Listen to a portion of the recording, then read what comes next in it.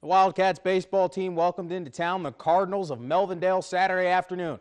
Both teams were looking for a little late season tune-up prior to the playoffs, and we were treated to a good one on Saturday afternoon. Melvindale would strike first.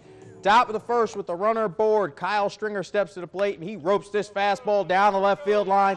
That's a fair ball. Brandon Spear will score and Stringer will coast into second with an RBI double.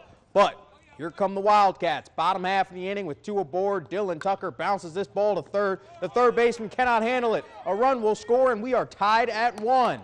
Bottom of the second with runners on the corners when Worth bounces this ball to short. Anthony Ochoa makes a great diving stop, but a runner will score, and Alpena is up 2 to 1.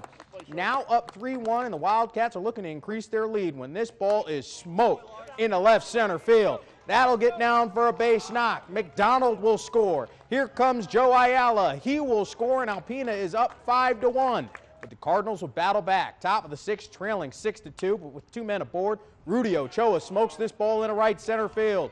Two runs will score, and it's now a 6 4 game.